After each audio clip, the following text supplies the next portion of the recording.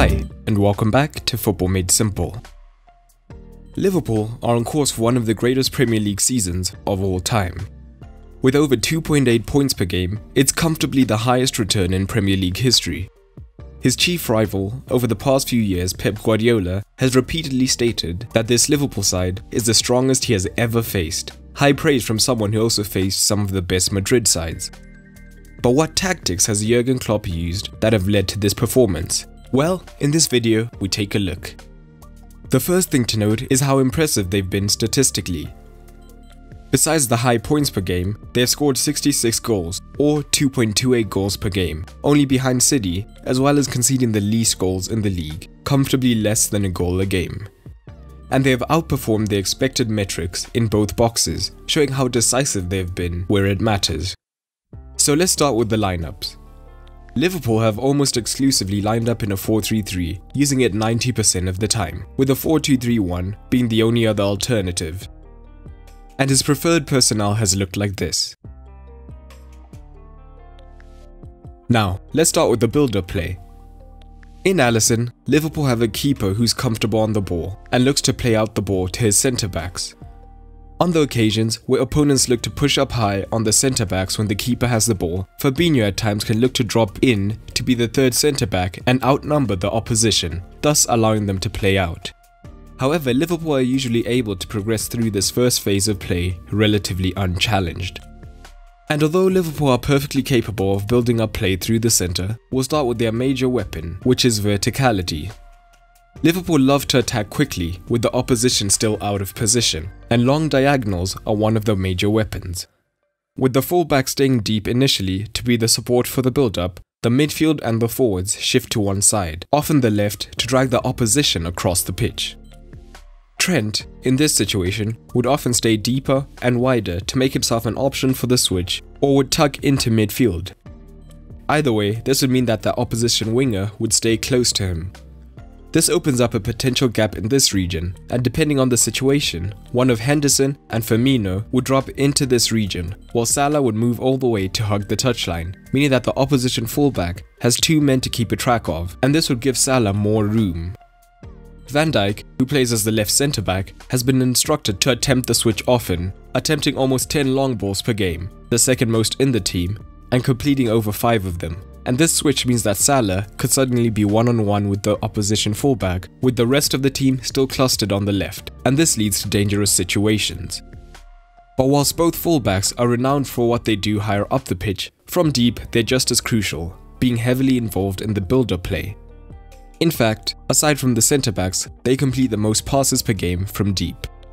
When they look to build on the right through Trent, the opposition recognizes that he is essential to the build-up, and as a result they look to pressure him and also to cut off his passing options. So Liverpool create a right-hand side overload, and the opposition tends to follow them. Robertson positions himself wide, creating space for himself to receive the switch and quickly look to attack the flanks and look for the cross. And although this move can be flipped, with Robertson switching to Trent instead, it more commonly occurs this way so switches are a big element of Klopp's Liverpool. And it's important to note that Klopp gives his players permission to fail, so although many times these switches don't come off, they have the courage to keep attempting them, as the stats show. The fullbacks and the wingers also have strong relationships. Oftentimes, the winger will look to make a deep run in behind to draw the fullbacks deeper and Liverpool's wide central midfielders in Wijnaldum and Henderson are comfortable moving into the space created, whilst Firmino can potentially drop deep to try and draw the additional midfielder. So depending on who the opposition fullback chooses to pick up, Trent and Robertson then have two options on who to hit, both of which can be dangerous. But Liverpool also use interesting mechanics when building up through the centre. They prefer to build up with a back three, and although occasionally they do this the more traditional way, with the defensive midfielder dropping deep between the centre backs, Klopp likes to keep Fabinho, the fulcrum of his team, here, so it is usually one of the wide central midfielders who pushes deep to create a 3. This will either give them more time on the ball to look for a pass, or if their marker follows, this opens up room in the midfield. Firmino then often dips into the midfield to make himself an option and be found in these dangerous regions. And the back three simultaneously means that the fullbacks now have permission to drive higher up the pitch. And here we see an interesting relationship between Trent, Henderson and Salah. Henderson often causes his danger with off-the-ball movement, so we often see him make runs into wide regions, allowing Salah to move infield into much more central regions, and this then opens up space for Trent to tuck into midfield, or attempt crosses from much deeper regions. Henderson can also make underlapping runs to try and take a marker away from Salah, and give him room to cut infield. But when he holds his position, the fullbacks can truly advance high up the pitch, with both Mane and Salah, as well as the arriving Firmino crowding the box. They aren't the tallest front three, but a combination of their movement as well as their sheer numbers mean that they are dangerous when the crosses come in. Both fullbacks attempt a lot of crosses, with the other fullback backing up play for any overhit crosses, and again, Klopp gives them permission to fail, with many inaccurate crosses per game, knowing that it only takes one to make the difference.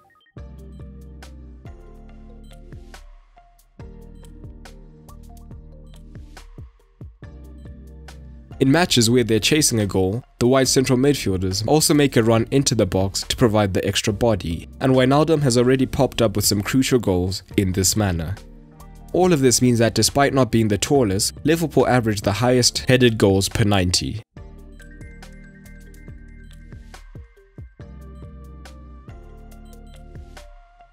But this positioning also means that often when the ball is central, Firmino can drop deep, hopefully attracting a centre back as well, whilst the inside forwards make arrowing runs into the box. Firmino can then look to flick or roll a pass into their path for the finish, and Firmino has 1.44 key passes per game and an expected assist per 90 of 0.24. However, in certain matches, Liverpool are happy to adapt, whether this is shuffling the front three to disorientate the opposition or changing mid-match to a 4-2-3-1. We see this happen often when Liverpool are ahead and want to hold on to what they have. Mane and Firmino are the more defensively disciplined of the front three, so they move into the midfield, with one of the midfield three moving out wide, particularly when Chamberlain plays.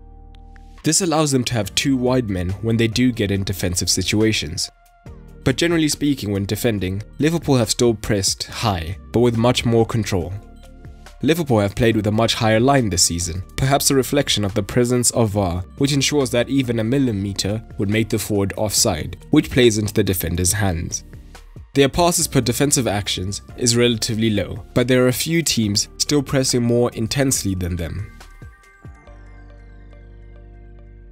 The pressing mechanism is still similar to prior seasons, with the wide forwards positioning themselves to cut off the passing lanes to the fullbacks, whilst Firmino tactically presses the centre backs. The wide central midfielders are also highly active in the press, able to move wider if the wide forwards are bypassed or press their opposite number. And the need to cover these distances is why Klopp often opts for a more functional midfield. But when they have to defend deep, Liverpool can shift into something like a lopsided 4-4-2, and Salah often pushes high, ready for the counter-attack. Liverpool then look to maintain their shape deep whilst looking for any opportunity to intercept.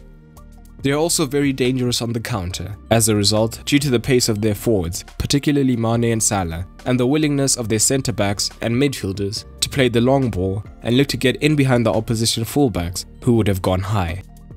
As a result, Liverpool have scored the most goals on the counter-attack in the league, as well as the third highest shots from counter-attacks per 90.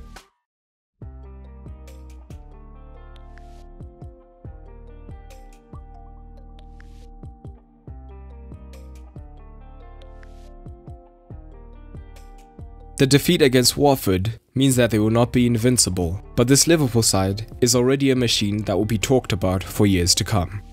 And with Jurgen Klopp happy at the club, it'll be intriguing to see how much further they can push themselves in the upcoming seasons. As always, not every tactic used could be covered in the video, but I would love if you drop any of the tactics that you noticed down in the comments below. If you enjoyed the video, a like and a share would go a long way. But that's all for today and remember, keep it simple.